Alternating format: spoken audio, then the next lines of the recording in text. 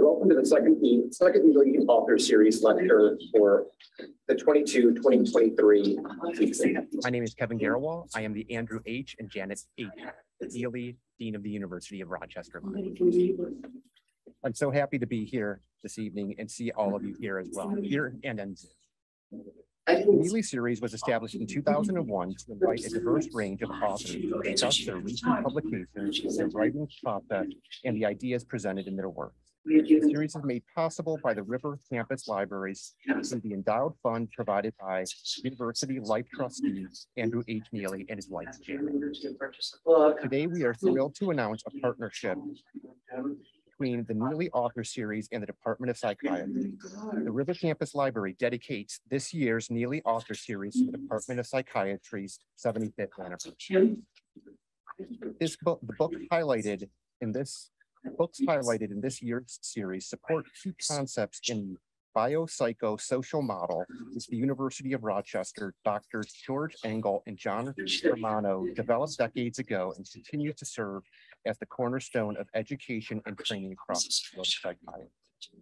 I wanted to encourage you to subscribe to our e- e-newsletter, Tower Talk, to stay informed about the library news and upcoming events, including future lectures in the Neilly series. A link to the, to subscribe. will be Momentarily, we will welcome our speaker, Erin Gruwell. To speak about her books and her life as an author. Following her lecture, we will open it up to questions from the audience. Those on Zoom, please submit questions via the Q and A function. And Erin will answer as many questions as time allows. Feel free to submit questions during the lecture or during the Q and A. And Erin has offered to sign books for everyone. You can purchase her books immediately following. the lecture. We have with us today a special person to introduce the keynote speaker. Mike Ozier grew up in Rochester, graduated from Brighton High School, and visits his family and friends often in the area. With a BA in philosophy and an MBA, recently retired as the Assistant Director of Public Health for Riverside County. He won numerous state and national awards for his groundbreaking work in public health and appeared on NPR's All Things Considered and on virtually every TV station in the greater Los Angeles area. Michael met our keynote more than five years ago in Vancouver, Columbia. When she was honored to receive the prestigious Golden Gavel Award from Toastmasters International. Since then, he has had our speaker present at, an- at an important community event in Southern California on childhood trauma. And he presented her, her foundation, Freedom Writers Foundation with the Toastmaster Corporate Award for their work in supporting the community in helping their team find their voice and tell their stories. Three years ago, he helped Freedom Writer- Writers celebrate their 20th, anna- 20th year anniversary and has donated generously to the. Join me in welcoming the person who will introduce our keynote speaker, Kim Osher's brother, who helps run the Neilly series, Mike Ozier.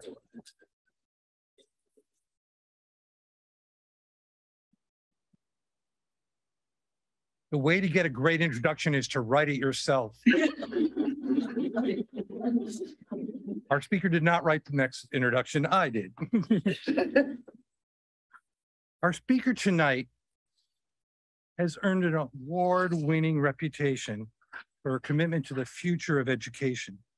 Her impact a teacher, as a teacher is amazing and is exemplified in the movie Freedom Writers.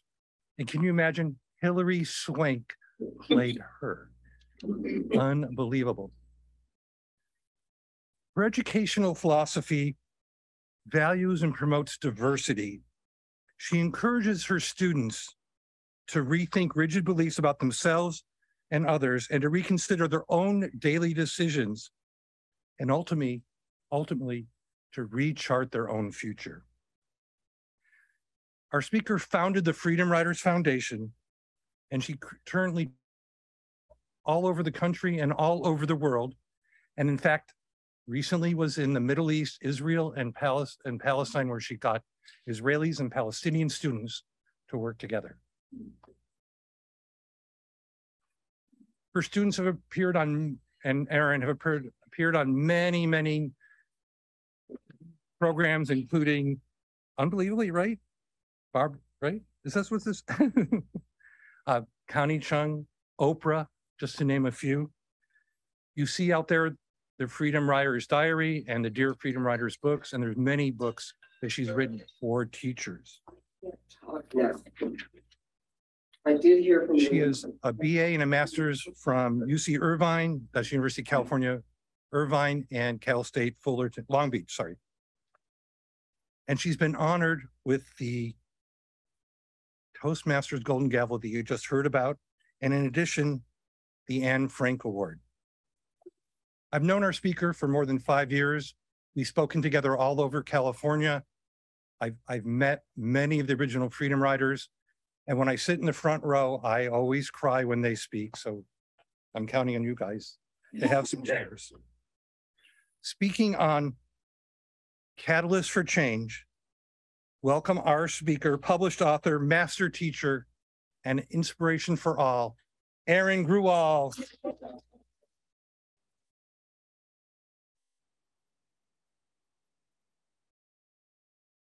Michael forgot to announce. We're at our little technical difficulties here. Michael forgot to announce that he also bought an entire box of books for the amazing students today at East High. And I just want to take a moment to applaud him and his sister for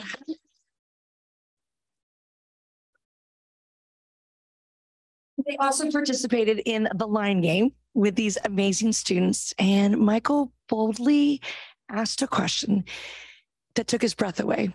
And I'm glad that you did that. So we are here in your backyard, in your community, and I'm I'm just so excited. And for those of you on Zoom, what you can't see is the front row of the most amazing students and scholars. So I hope that you are envious at home that you don't get to see what I get to see um, students who are sending their college applications out into the world. Places like Columbia and NYU and the University of Rochester, just to name a few. So, I want to talk about those moonshot moments when young people dare to dream and dream big. And I had just that those those moonshot moments with my students who dared to dream and had no idea that they were going to graduate no idea they were going to go to college, no idea they would travel the world, become authors, and as I like to refer to them, accidental activists. But maybe it was accidentally on purpose. So, for those of you that are not familiar with our story, what I'd like to do is begin with a little segment from the Today Show.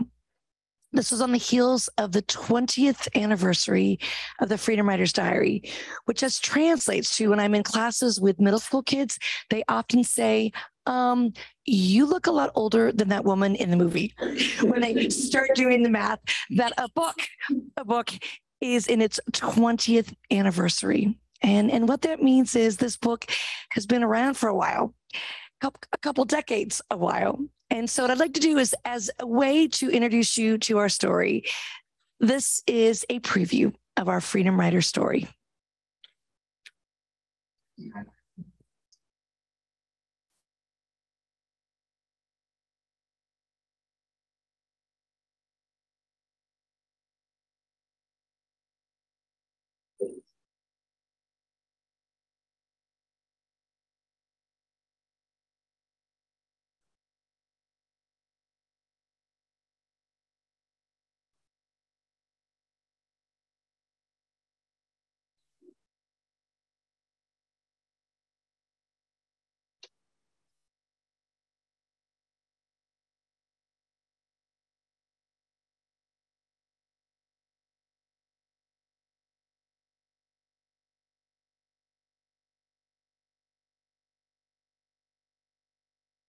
next.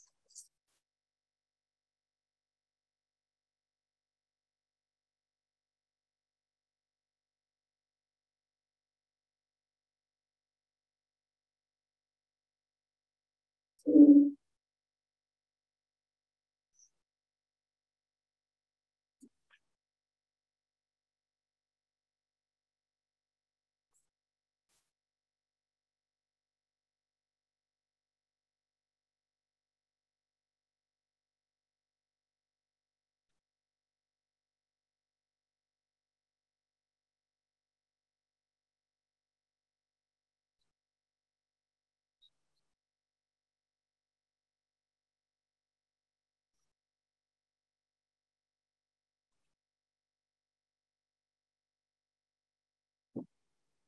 So, for those of you that are not in this room, uh, those of you that are watching all the way in California, my whole Freedom Writer family back in California are watching. In my hand, in my hand is a copy of our book. And the gaggle of students in the front row all got a book tonight, not from me, but from the fine folks of this community and in this audience. And it's ironic that we are in a library in a university and, and I'm holding a book by young people who didn't like reading, who didn't like writing, who didn't like me, and somehow, some way found their voice to use words and not weapons to change their story. So, this book in a library means a lot to me because I have found out that this is the number one most stolen book out of the library system in America.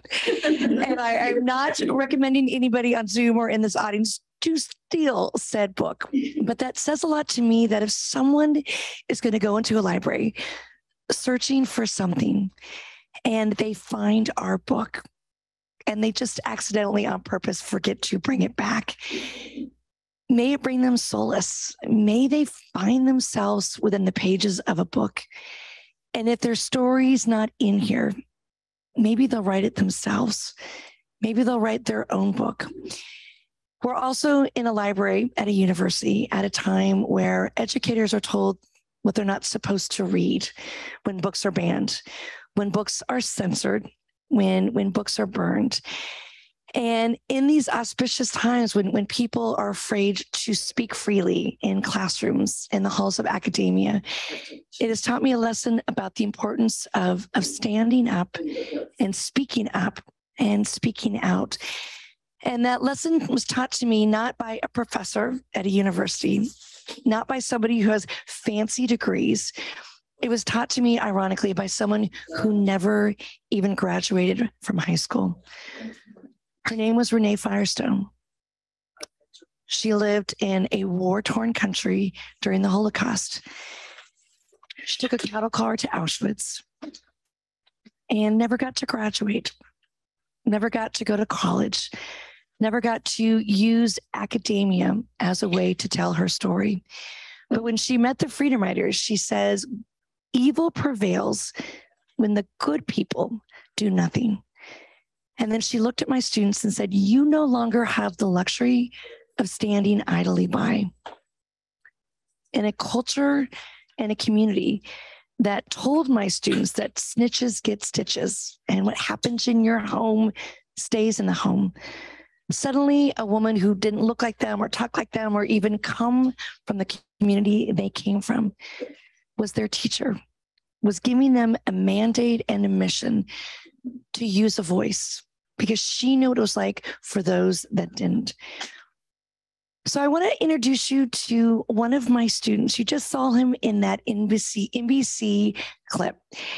And I was able to put him on a plane, fly him across the country to, to be on this show, on the Today Show. And he was terrified. They came in and they put makeup on him and he got a little frazzled and he got to sit on a stage with all of these folks that he'd watched on a, on a small television with rabbit ears in his home all those years ago. And suddenly he's taking us all back to a moment, a moment in my class when things weren't right and, and things weren't normal. That young gentleman's name is Carlos, and on the streets, he was referred to as Idol, like American Idol. And what I found out about him was not through a test or a score or from him raising his hand. What I found out about him was told to me in a very toxic teacher's lounge that Carlos was about to get kicked out. They were waiting and plotting because as a graffiti artist, Carlos had the ability to write his name, Idol, on a podium on a chair, on a desk, on a wall, on a locker. And so our teachers had reached it, their, their max potential, and they were going to kick him out. So they told me on that very first day if Carlos reaches for that pen, if he reaches for that Sharpie, send him to us and we're going to send him away. And I want to think about that this idea of, of sending people away. Where do they where do they go? And how do we expect people to just be invisible, to be on the margins? to be part of a school to prison pipeline. So I didn't want to send Carlos away. And on that first day, I learned about a, a second student. His, his name was Sherrod. Sherrod had also been sent away from every class and every school in our community that he ever attended since kindergarten. In fact, Sherrod had just been sent away from his last English class because he brought a gun to threaten his previous English teacher. And I am on his roster. In fact, Sherrod and Carlos are in the same class on my first day, my very first class. So I left that to- toxic teacher lounge and I kept thinking, what is it going to be like when I reach my room? Will there be separation? Even though in the halls of academia, we learned that separate is never equal. And sadly, there was a young gentleman who just left who was here this evening who said, the schools here in Rochester are segregated as well. So, how do we change that? How do we fix that? How do we have courageous conversations that separate is not equal in our own hallways, in our own schools, in our own states? So, Carlos walked down our hallway that was segregated and separated. And he separated himself from Sherrod, his, his known enemy, his nemesis. And then something happened. He raised his hand. And when he raised his hand, I actually thought he was going to flip me off. He did not. He raised his hand and he had a legitimate question. He said, Ms. G. And at first, I kind of winced and I thought, why isn't he trying to pronounce my last name right? My last name is Gruwell, and he didn't even attempt to pronounce my name. But I quickly found out if you are an OG in the LBC, it's a sign of respect. And the LBC is Long Beach, California. So Miss G has become my teaching moniker, my nickname for my entire teaching career. But he raised his hand and he said, Miss G, do you think I was an ugly baby? And I actually thought that Ashton Kutcher was going to leap out from a curtain and punk me and tell me that I was on MTV. And I said, No, Carlos, there is no such thing as an ugly baby. To which she said, Well, I must have been, or why else would I have been abandoned when I was seven years old? And I had that light bulb you see in a cartoon, that that aha moment, that pit in my stomach, knowing that this young boy spent every single day searching, searching for self, searching for where he was going to sleep on a park bench, on someone's couch, in the corner of an alley, searching for what he was going to wear. Hand me downs that were torn and tattered, and shoes that had cardboard at the bottom of those sneakers. Searching for what he was going to eat. If he got to school early and, and got that free breakfast, or ditched his buddies at lunch and had that free lunch. But what happens at night, on weekends, when there's no school? Do you stand outside of McDonald's with a cardboard box that says, we'll work for food? Do you have a, coins that are thrown at you in a cup? Do you hope and pray for humanity and a half eaten burger? Or do you go without? So, in that moment, as Carlos asked that question, I realized there was so much more to a story, so much more. And then something happened. Out came a, a piece of paper. Out came this drawing with a horrible racist caricature. And on the side was a directive. It said, Pass me. And, and off it went like a blaze. And as this note went up and down the rows, there was laughter and there was fist bumps and there was high fives. And then that note, that horrible racist caricature, got into the hands of Sherrod. And this tough kid, he wasn't so tough after all. I think I felt the, the lump in his throat. I think I saw the tears welling in his eyes. And in that moment, I realized that if I don't make sense of this madness, the bell's going to ring. And in a community that just had 126 homicides, in a community that just had a racial reckoning with the Rodney King verdict and those riots, if I don't make sense of this madness, These kids are going to leave this classroom, and outside that door, it's fisticuffs. And in the center of our school, there's going to be some kind of rumble. And in the center of our city, on those streets, those kids aren't going to be reaching for a gun or a hand. They're going to be reaching for each other, trying to destroy and demolish and take down. And sadly, in that fist or with that gun, we might lose another life. We might have another homicide. We might have another baby killing a baby. The 127th loss in a city that clearly had lost too many lives. So in that moment, I'm, I'm yelling and I'm screaming and I'm trying to make sense of the madness. And as I'm yelling and screaming, I, I tried to reference the, the worst inhumanity that I could muster. The artists during the Holocaust who drew horrible propaganda, the Nazi soldiers who tried to systematically and systemically destroy.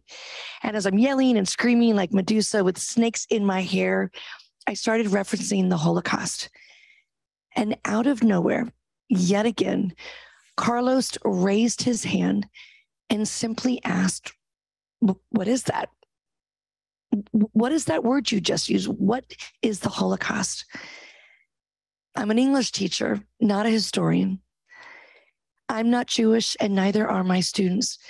But at that moment, I realized if I don't stop and teach to them and with them, not at them, that the madness is going to continue. So at that moment, everything had to stop so that everything could start over again.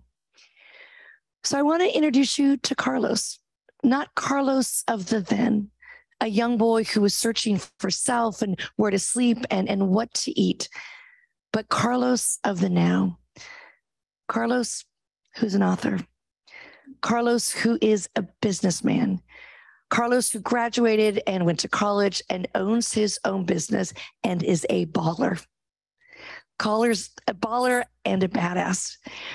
And I say that lightly, but I also say that endearingly because Carlos came to our office, sat in front of our chalkboard to make this video. And when he arrived, he arrived in a brand spanking new BMW. For context, I'm a teacher. I drive a 2007 Prius. Carlos arrived in a brand new BMW with that swagger, with that edge. And I said, Carlos, you know, sit in front of this camera, look into the camera and speak to students. Sit right here, take off your shades and imagine making a difference. And I, I tell you about the shades because you're not going to see the Ray-Bans. You're not going to see the sunglasses he usually dons because I wanted you to see Carlos, that tender boy that I met, that tender boy who was broken, that tender boy that had to be put back together again, and that tender boy who still has that hope and humanity. So, Carlos is going to take you into my classroom. The, the background will be our film, and is going to tell you about that moment, the note, the inhumanity, Sherrod, and how these two enemies have become the best of friends. And without wearing the shades, without his superhero powers with those Ray-Ban sunglasses, you can actually see the tears well in his eyes. You can actually see the lump in his throat, and you can actually see my classroom. So this is Carlos.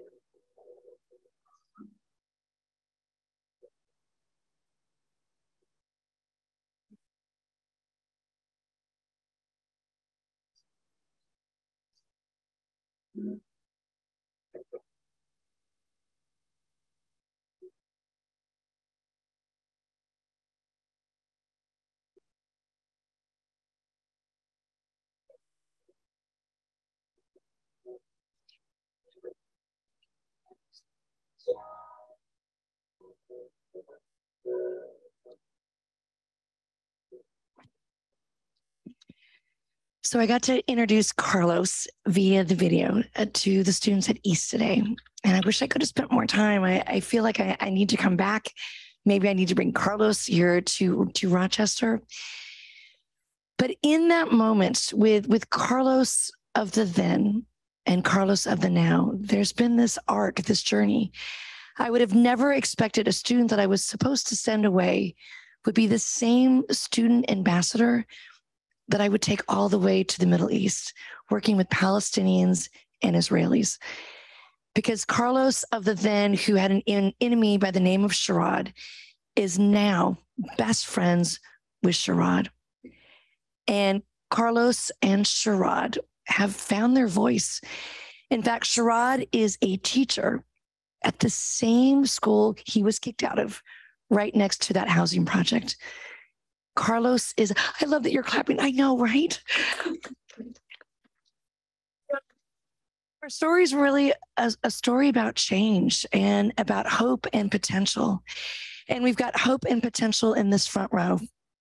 Scholars, promise and potential. So, what happened in my room was my students had to learn to put down their fist, pick up a pen, and write. And that's kind of scary when what you're writing about is the things you've experienced and you've experienced them when you were a kid and you stop being a kid. So for a lot of my students, they saw things they, they shouldn't see, they heard things they shouldn't hear.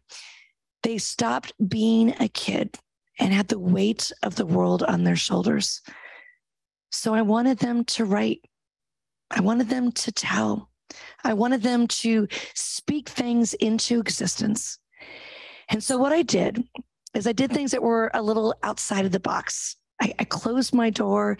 I learned quickly how to ask for forgiveness rather than permission. and I started taking these bold risks. How can we meet a Holocaust survivor on a Sunday? How could we go to a museum on a day off? How could I work a, a, couple extra jobs and get my students books? They've never read a book from cover to cover, but how can I actually buy them a book that is theirs and it's not torn and tattered with mildew, but it's theirs? So I love that all of you have books. And I love that so many of the students at East High today got books as well. The first book I bought my students was The Diary of Anne Frank. The second was Night. The third was about a young girl in Bosnia Herzegovina who had been hailed as the modern day Anne Frank. And in the midst of the madness, in the midst of a modern day genocide, while Anne had been in an attic, Zlata Filipovich was in a basement writing, writing about those bombs, writing about that fear, writing about the grown-ups who were acting like kids and those kids who had to suddenly be adults. Suddenly my students realized that maybe we have something to say, maybe we have something to write, and to start practicing what their stories were. We we played a game that was actually anything but. I called it the line game. And what it was was stripping my classroom of everything that felt like academia a desk and a chair, a pen and a pencil, a textbook, scores and labels, because for so many of my students, they already had been labeled before they walked in. So many of my students have been called names as such as dumb or stupid or nothing. And I wanted to flip the script. I wanted to change that paradigm and that pedagogy and to tell them they were brilliant, they were beautiful, and they were amazing. They, right here in the front row, are perfect and beautiful and amazing. And so in the middle of my classroom, I just put a piece of tape and I began to ask questions. Silly, then serious. Questions about pop culture, a, a song, or a movie. And then serious about struggle, about poverty, about their homes, secrets, and sometimes shame. And in asking those questions, my students kept coming, coming to the line and standing toe to toe and knee to knee with someone they didn't know. And suddenly there was a glance, there was an acknowledgement, there was this familiarity. I'm, I'm not alone in this world. We're standing together. At the end of this game, with questions that were harrowing and heartbreaking, I started realizing how heroic my students were. Because no matter how bad the problem was, they were still standing and they were standing in solidarity with one another. Questions about heartbreak, questions about abuse, questions about fathers that were there or were not, questions about things they had seen that shouldn't be in any home at any time. But the last question I asked was about loss, general loss in a city that had buried fathers and friends. Most of my students had been to more funerals than birthday parties. The last question I asked was stand on the line if you've lost somebody to senseless violence. And every single student stood on that line. Today at East High, in a small room with a group of kids, I asked a similar question and I gave them the opportunity to stand on a line if they too had lost somebody to either violence or a virus. And they did. And then I rattled off one and they stood. If you've lost more than two, and they continued to stand. And there was a group of students at East High today who continued to stand who had lost four or more. Four or more. And they are 14. And that creates a movie in your mind that you can't just stop or pause or eject. That creates trauma and triggers when you're 14 and you have to do a chemistry assignment or a geometry assignment or write that perfect five paragraph essay. So when my students said to me, Miss G, I feel like I live in an undeclared war zone. I understood war because my brother was a soldier, but my brother was in foreign soil. And we lived 30 minutes from Disneyland, the happiest place on earth. But these students didn't have rides and roller coasters. These students were dodging bullets and missives. So I wanted to take that pain of those questions. I wanted to take that pain that brought them to that line and give them the opportunity to wipe a slate clean. To do so, I wanted to have what we called it a toast for change, to pick up a plastic champagne glass and wipe the slate clean. And to do so, I, I, stole a cue from a friend of mine who is a kindergarten teacher. Because let's face it, kindergarten teachers are just much more fun. And I have this image that when kindergarten teachers walk, flowers magically sprout at their feet, butterflies or birds are chirping and floating and flipping. And so I decided we're going to take it back in the day when little kids loved school and there was wonder and wishes, their first crushes show and tell. Because for most of my students, they missed out on all that. Maybe they didn't have anything to show. Maybe a proud mother told them, Don't you dare tell. So we were going to go back old days and have this show and tell. And we would be the prize. So I blew up some balloons. I, I made some silly signs. I went out, got plastic champagne glasses, sparkling apple cider. I had books on the ready, and in they came. And in that moment, in that moment of this toast for change, my idea was my students will pick up this plastic champagne glass filled with sparkling apple cider and they will make a toast that they will pick up that book I just bought them and read it from cover to cover. They will pick up that plastic champagne glasses with that sparkling apple cider and they will actually write the perfect five paragraph essay. They will pick up that plastic champagne glass and pick up that pencil and bubble in all the right answers. For me, change was a score, it was statistics, it was teaching to a test. Until one of my students stood up and made me realize don't teach to a test, teach to me. Because kids are not one size fits, all. And that kid who did it had an ankle monitor, had been in juvenile hall. So when she picked up that plastic champagne glass, it had nothing to do with a test or a pen or a number two pencil. She said, I don't want to be pregnant by the time I turn 15 like my mama.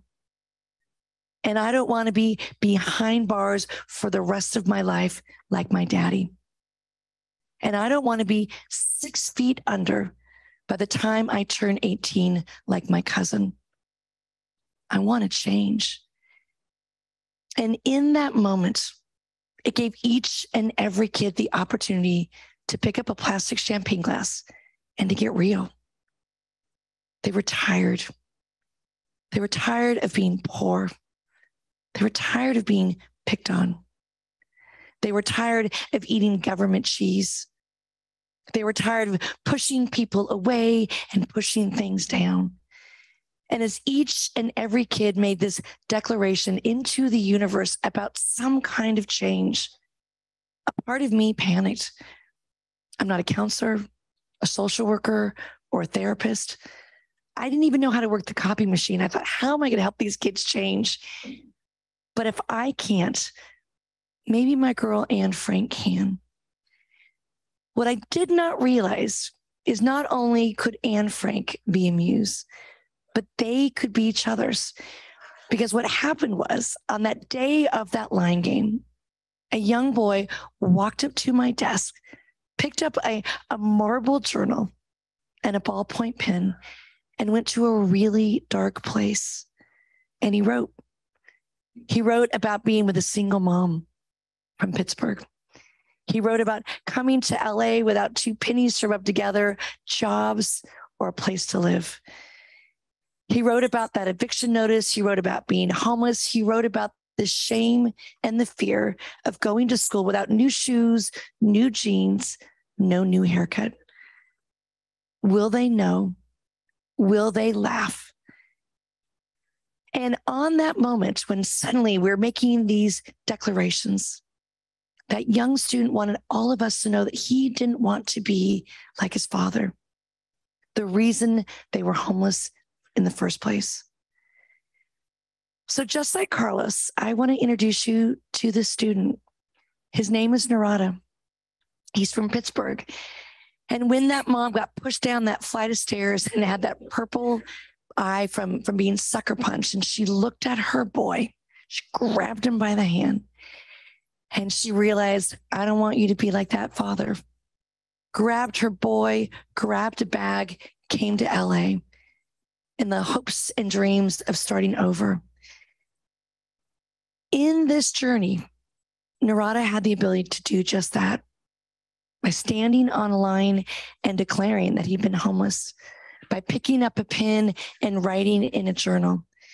And in fact, for the young folks who got books tonight, his story is diary number 24 in our book. And when they made this into a movie, they used Narada's words word for word.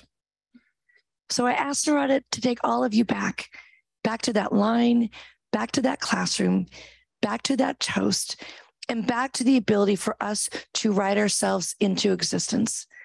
Back to that ability to write your story that allows you to think about a different ending to your own story.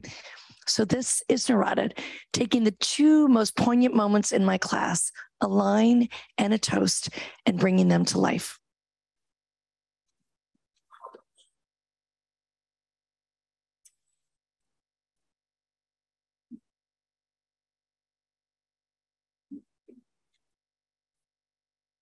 One second.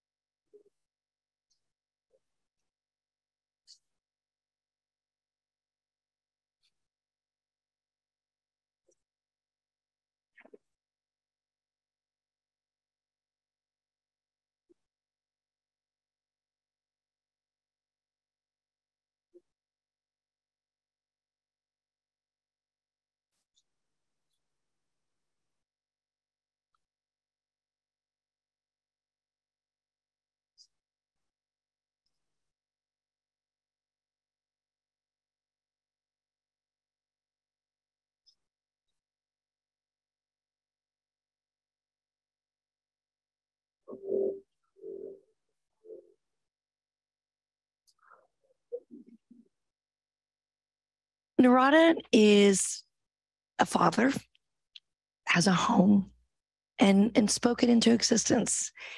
And I think that's what all of us that are here tonight are hopeful of that we can take our story. It makes us stronger. It makes us superheroes. And so my hope is in the next 15 minutes to take our story and and hold up a mirror to your story. And what we're going to do is we're going to take some stories from Zoom, some stories from this room, and hopefully bring them to life for all of you. And so Michael is going to help us ask some questions. Some of those uh, questions are going to come in just from you raising your hand. And some of those questions are going to be typed into the Q&A on Zoom. So Michael, I'm going to let you go ahead and moderate. And as those questions come in, just throw them my way. Well, I'm going to ask you the first question, Erin, and I've heard you speak a dozen times, 20 times, and I'm still crying. What was that inspiration and how did you know what to do? Because there it was, the key moment, and you did it. a lot of it was fear. The inspiration was uh, fear, and, and all the educators in the room, we we know that when we just have that that that instinct. Um, I didn't learn most of the things that I did in my class in college. I didn't learn them in my my teaching career. I just wanted to connect. I just wanted my students to find a safe space and in that safe space to start over, to take those F's and those D's and turn them into A's. One of my students had a 0.6 GPA when they started their journey with me. Four years later, my students stayed with me from their freshman year through their senior. And four years later, that student graduated with a perfect 4.0 first in their family to graduate, first in their family to go to college. And she is now in graduate school.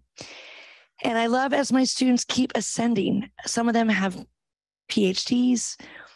One of my favorite stories is that one of my students was undocumented and got everything right every gold star, every medal, every ribbon.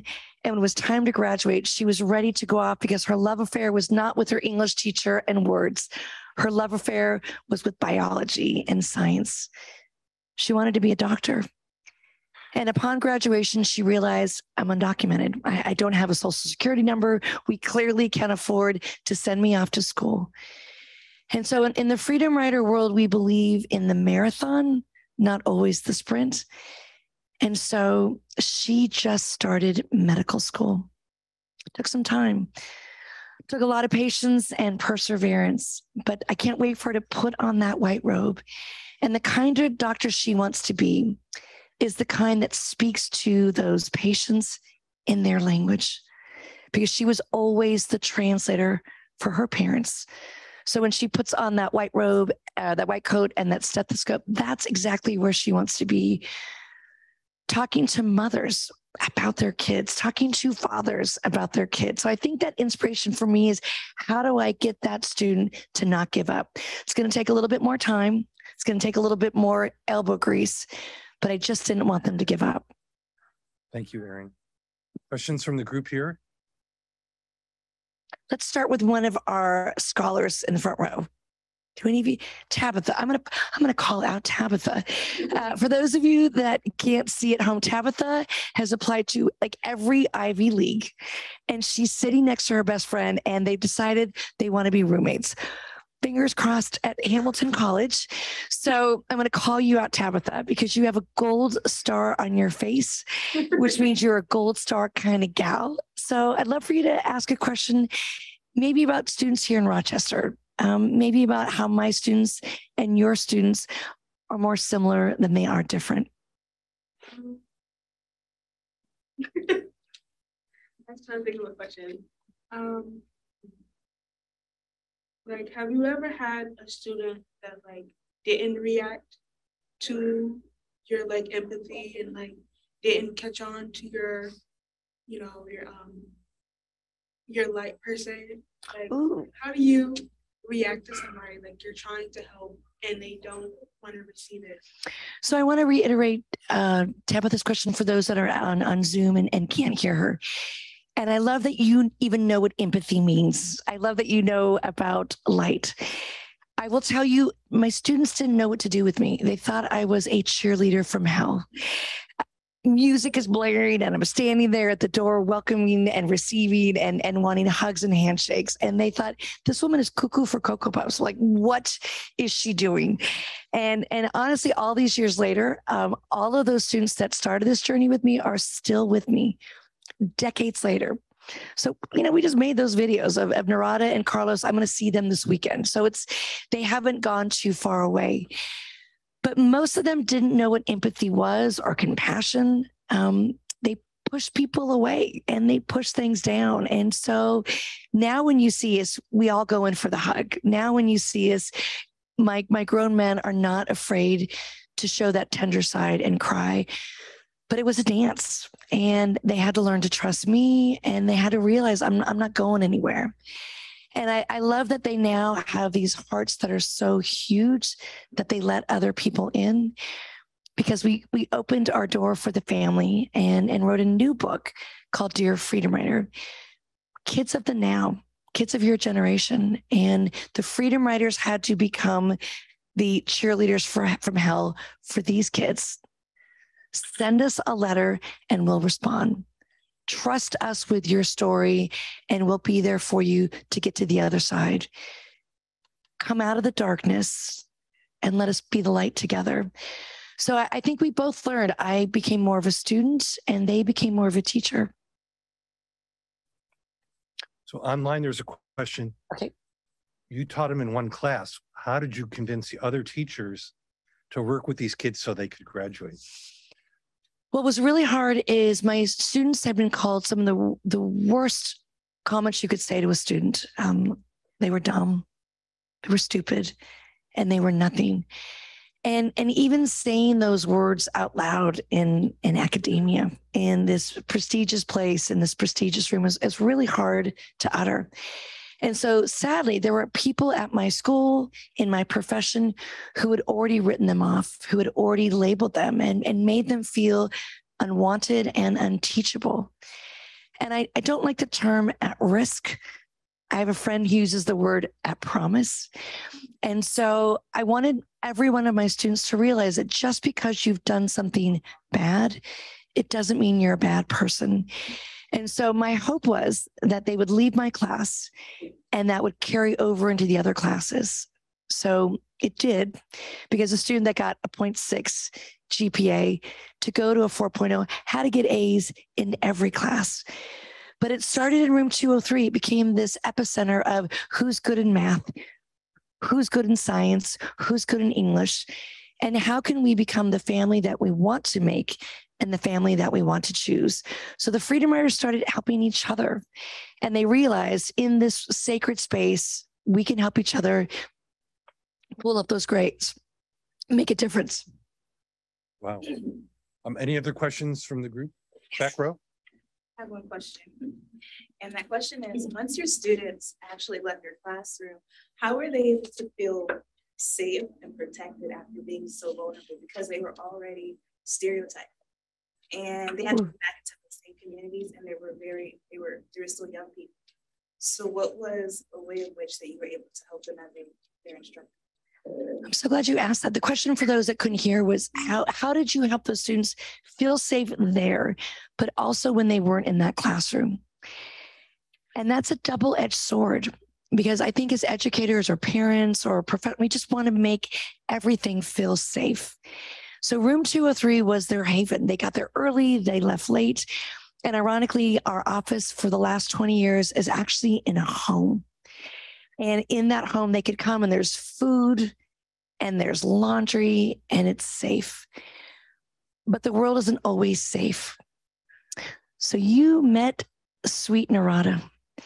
And Narada was invited with me to go to a community not very far away from here in Watkins Glen. And he flew in to Syracuse to meet me, and we did a couple schools. And then we made that drive.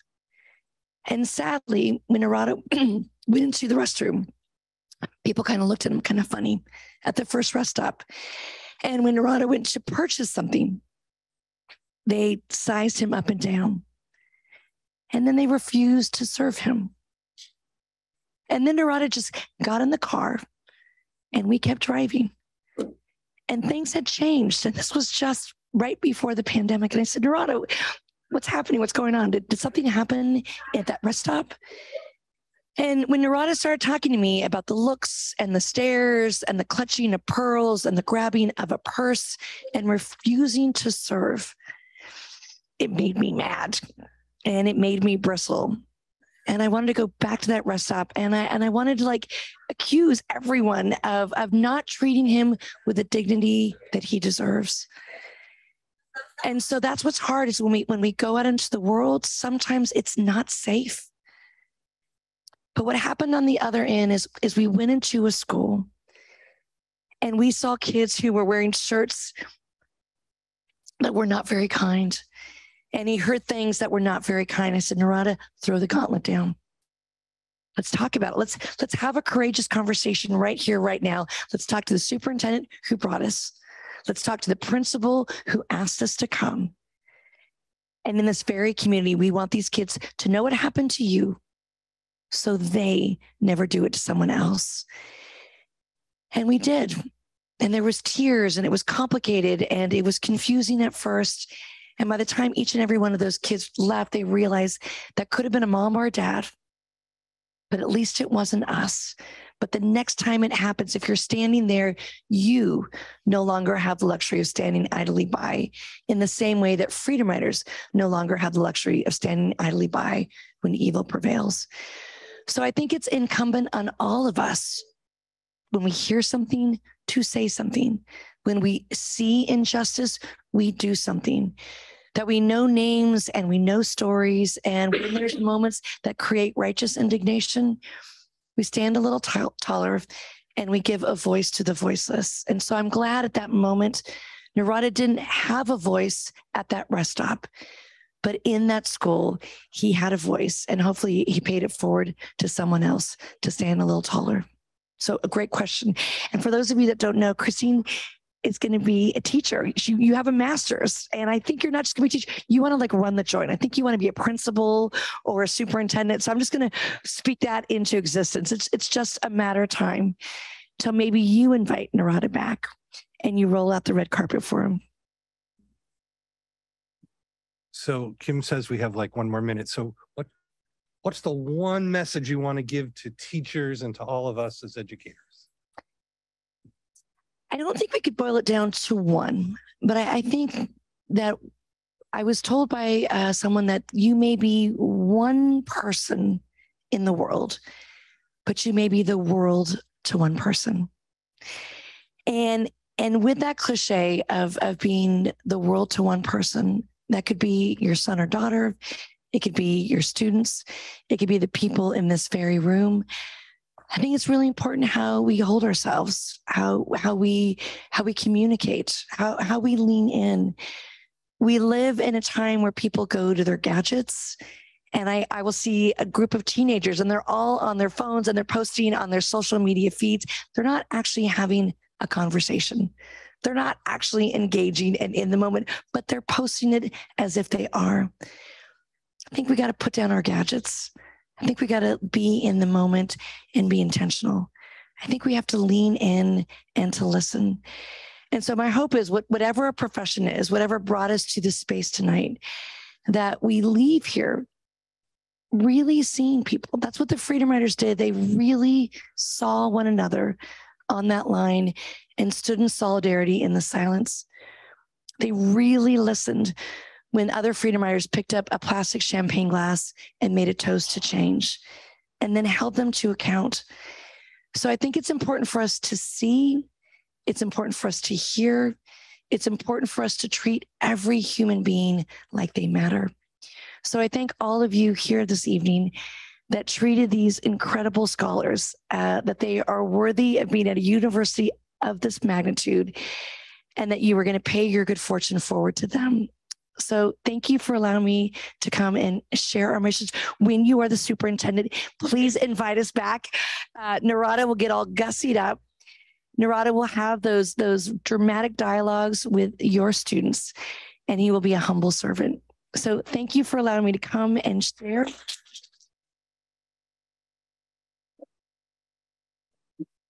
A few Closing comments.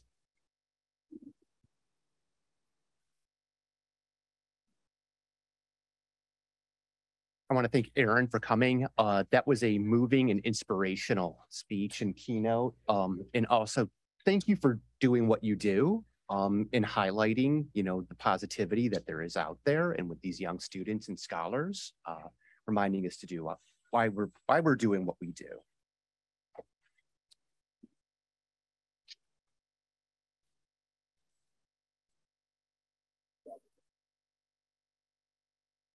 Uh, as a quick reminder, if you would like a signed copy of Erin's book, you can purchase a copy here tonight. She will be staying afterwards in the other room to sign copies. Uh, the next Le- Neilly Author Series lecture will be Wednesday, December 7th at 6 p.m. We will be welcoming Dayna Bowen Matthew, who is a JD and PhD. Dayna is the Dean and Harold H. Greene Professor of Law at George Washington University, a leader in public health and civil rights, who focuses on disparities in health, healthcare, social determinants of health. Dean Matthew joined GW Law in 2020.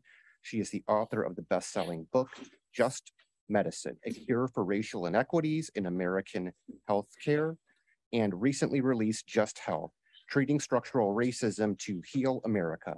It is the co-author of a casebook on public health, law, and policy. Uh, please check the Neilly Author Series website and stay afterwards and thank you. And thank you, Erin, and thank you, Mike.